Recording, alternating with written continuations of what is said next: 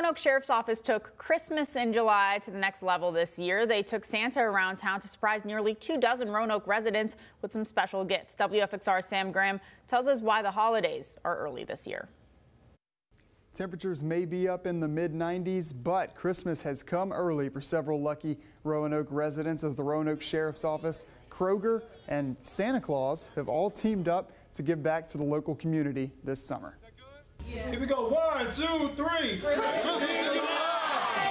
The Roanoke Sheriff's Office traveled around the city on Saturday distributing 25 $100 Kroger gift cards to citizens who had been nominated by fellow members of the community as part of the Santa on Patrol initiative.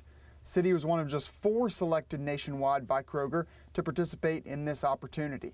On behalf of my office, the Executive Office of Roanoke City Sheriff's Office, and my amazing team. Thank you all for always being a part of this great initiative. We do it better when we do it together. Thank you. This expansion of Christmas in July was seen as a victory not only by the Sheriff's Office, but also by Kroger.